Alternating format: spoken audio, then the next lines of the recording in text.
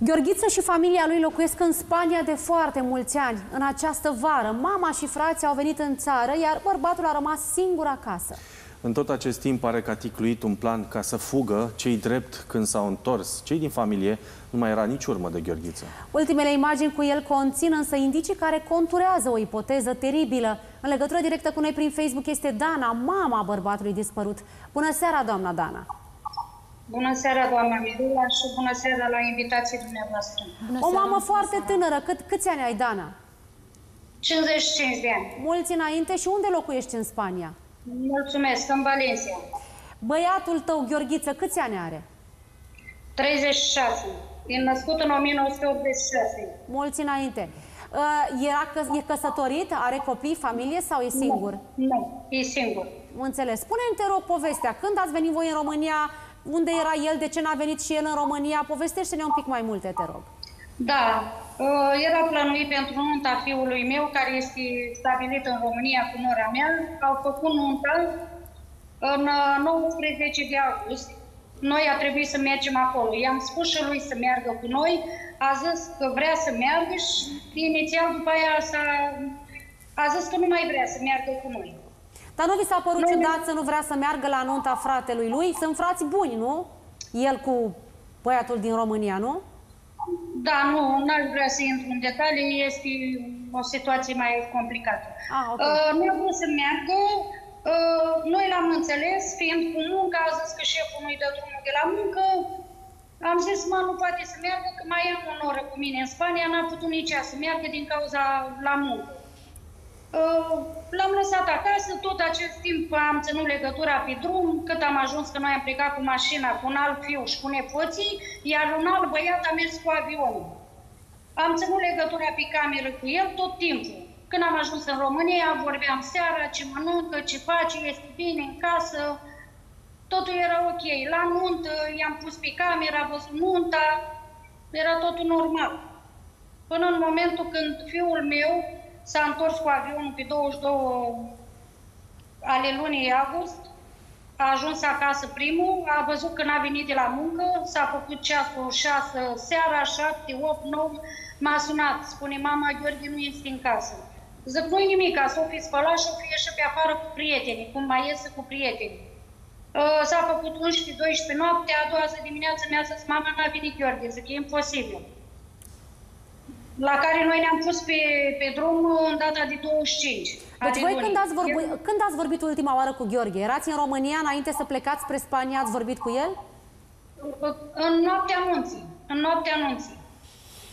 Așa, și totul era bine. El era acasă, voi la nuntă. Când ați vorbit după noaptea anunții? Nu ați mai vorbit a doua zi să-l întreb ce face Gheorghe și să-i spun? Nu, nu l-am mai, nu l-am mai nu n-am mai întrebat, știind că este acasă, i-am spus că noi după nuntă imediat plecăm, uh-huh. ori că vine Alexandru înainte și venim noi după, că veneam cu mașina și dura trei zile pe drum, uh-huh. a zis tot ok. Nu știam că este acasă. Am uh-huh. plecat pe 25, pe 28 uh, am ajuns uh, înapoi în Spania. Pe 29 l-am căutat la prieteni peste tot cunoștințe pe unde știam, a zis că nimeni nu știe nimic de el. Pe 29, pe 30 am depus denunția la poliție, la noi. Da.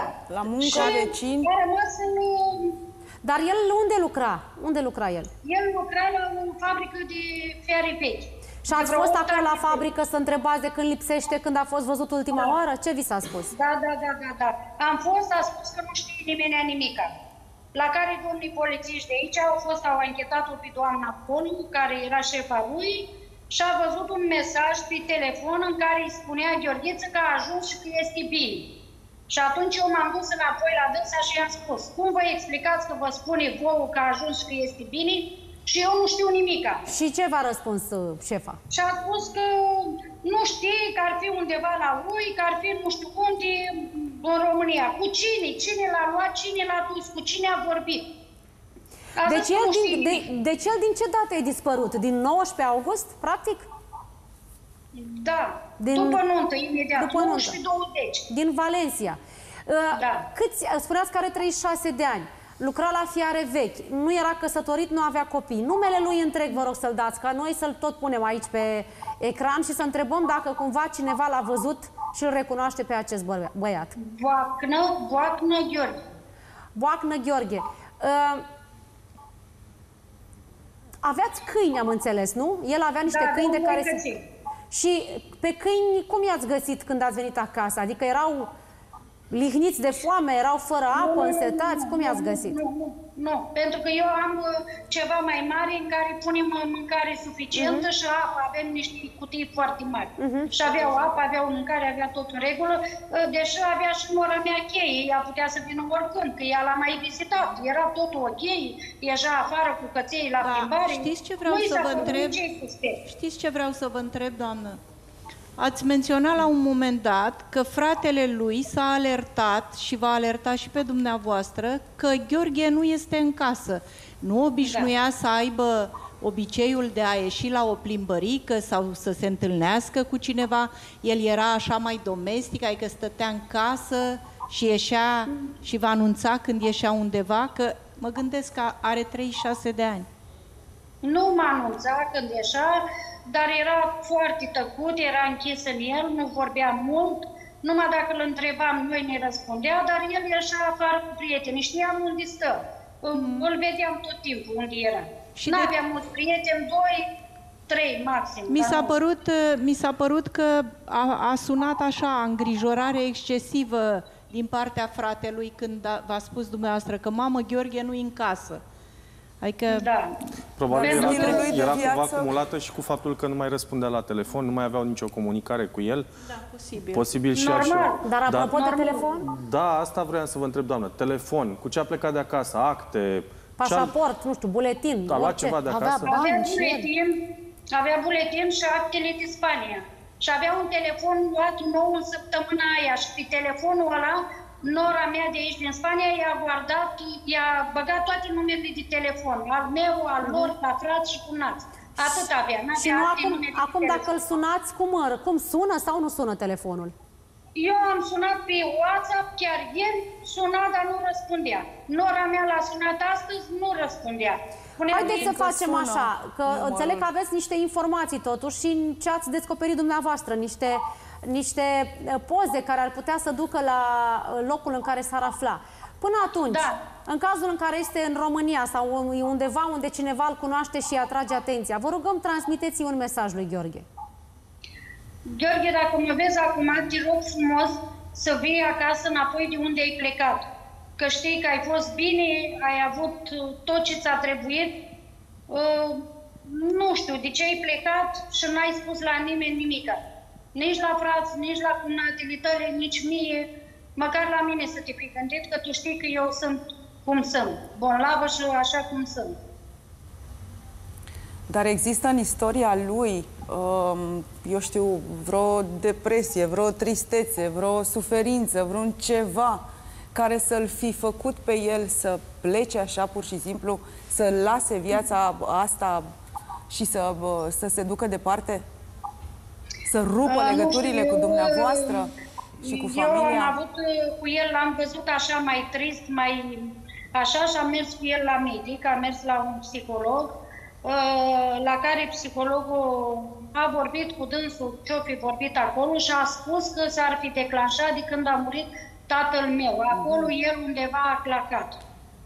Avea o relație foarte strânsă cu bunicul da. sau ce?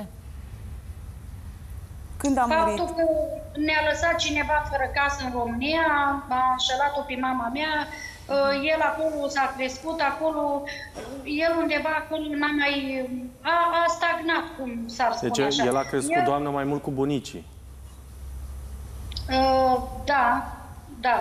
Mai mult cu bunicii, eu mergând sâmbătă, dacă lucram, mergeam acolo cu Bunicii cu mai trăiesc? cu copii, da. Bunicii mai și... trăiesc? Și el era cel mai mare băiat uh, al dumneavoastră da. și este din uh, prima relație. Dumneavoastră ați mai avut uh, o altă relație și ultima, din ultima mai aveți un copil, nu? Da, da, da. da.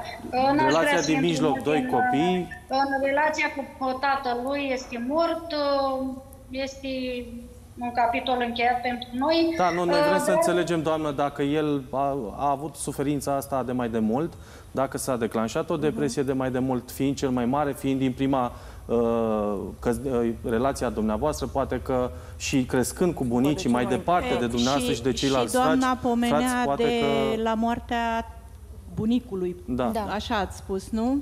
Da, da, da, așa mi-a spus psihologa. de bunicul fusese crescut, nu? Și casa pe, în care el a crescut, nu, nu, el ați a fost pierdut-o? crescut, nu, nu, el a fost crescut din mine la oraș, a mers la școală și la un Am moment înțeles, dat, dar relația și rădăcinile lui percepute Sunt- de el și afecțiunea Da. pe care a primit-o de la, bune, de la bunicii Da. lui reprezenta atât de mult pentru el. Bunicul ține în Da, loc da, de da. tată, probabil. Da, La telefon da, o avem exact. pe Suzana, este nora doamnei Dana. Bună seara, Suzana. Bună seara! Doamnă, dumneavoastră ce știți uh, de acest băiat? Ce credeți că s-a întâmplat? Și dacă aveți informații. Informații, cum a zis și soacra mea. Uh, Totul s-a întâmplat în luna lui august. Totul a fost uh, bine, ok, până când au plecat în România, la nunta lui cumnatul meu. La nunta la care trebuia să meargă și el și planurile s-au schimbat pe ultima sută de metri, nu? Da, pentru că cu munca și cu toate astea, până la urmă n-a mai, n-a mai vrut să mai meargă. Dar credeți că a fost un motiv? Sau chiar asta s-a întâmplat, nu a fost lăsat uh, de la serviciu să plece și el în România? Asta nu- el nu prea comunica cu noi ca să știm dacă a fost un motiv sau nu. Deci nu vi s-a părut nimic suspect uh, nici când ați Nu. vorbit cu el ultima oară, că înțeleg că dumneavoastră ați vorbit cu el ultima oară înainte să dispară mi și s-a nu vi s-a părut chiar- părut absolut nimic uh, ieșit din comun. Nu, chiar nimic, pentru că nu prea vorbea așa. El vorbea, dar nu... A Haideți avut să ne vreun întoarcem prieten? acum uh, spre o pistă, că înțeleg totuși că ați tot căutat Pe ca, na, cineva. ca oamenii uh, și ați mm, găsit și pe TikTok niște imagini.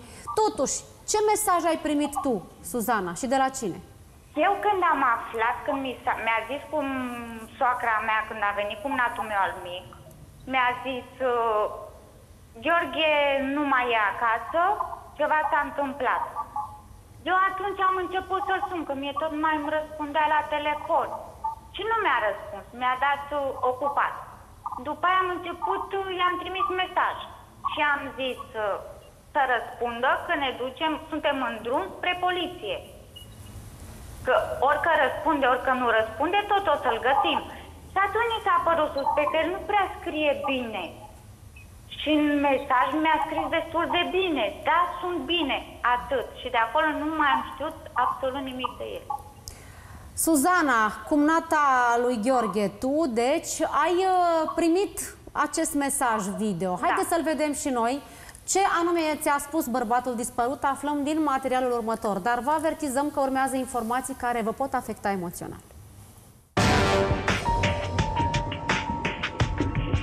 După o zi de la dispariția lui Gheorghe, îngrijorată, cumnata acestuia i-a dat mai multe mesaje. Pe 24 august, la ora 17.38, femeia i-a trimis lui Gheorghe primul mesaj. Gheorghe, răspunde la telefon. După un minut, Suzana, cumnata lui Gheorghe, mai trimite un mesaj. Nărav prost ai. Răspunde odată. După aproximativ 30 de minute, femeia îi mai trimite cumnatului său un mesaj, în speranța că Gheorghe îi va răspunde. Spune dacă ești bine sau nu, că mă duc cu Alex la poliție și tot te găsim în România. Deja ești căutat de poliție. Răspunde odată. După 10 minute de la acest mesaj, Gheorghe îi răspunde. Da, sunt bine. La vederea acestui mesaj, Suzana îi scrie din nou, dar nu mai primește niciun răspuns. Răspunde. Sunt singură. De ce ai plecat în România?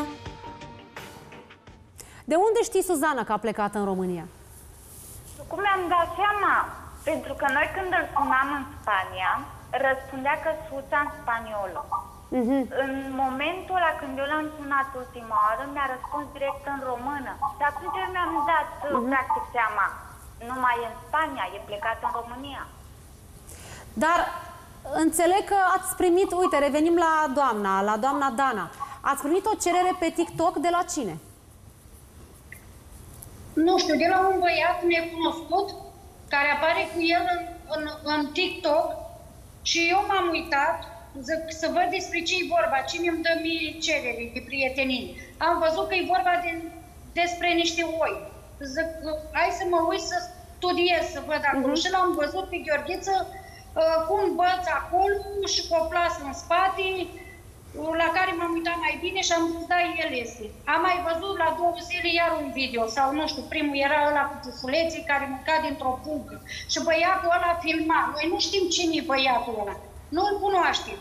Că Din ce atât zonă timp sunteți în spune România? cum. Că aveți accent moldovenesc. Din ce zonă sunteți?